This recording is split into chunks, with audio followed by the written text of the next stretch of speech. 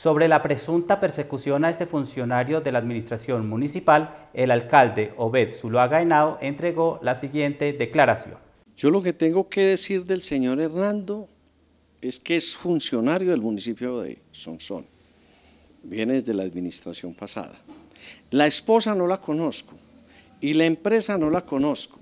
Lo que puede decir el, el señor Hernando es que montaron un club deportivo y utilizaron cobrando, cobrando mensualidades los escenarios deportivos sin autorización de la administración. Dejando por fuera, tenemos nosotros tenemos 19 monitores pagados por el municipio y allá los utilizaban para los fines económicos de la corporación. Pero además, los implementos deportivos todos desaparecían. O sea, no utilizaban y los otros desaparecían.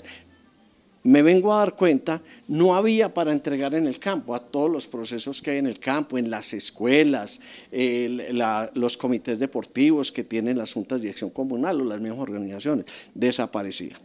Es muy complicado una gente con una empresa y con un club deportivo y ahí utilizando los recursos públicos para lucrarse económicamente.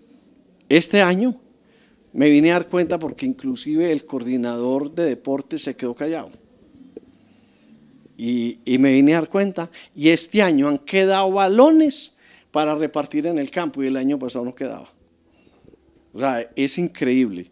Eh, este tema de los negocios funcionarios con negocios montados dentro del municipio y ganando sueldo, eh, eso es una falta disciplinaria y se puede convertir hasta en un delito.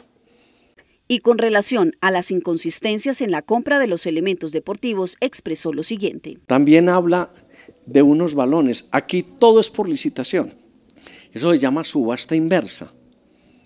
Desconozco siquiera qué tipo de balones, porque a mí no me queda tiempo, pero fue una licitación pública en la que puede participar todo el mundo. Eso, cuando usted saca, eso lo pueden ver desde la China, desde Estados Unidos, eso es público, así, exige la ley.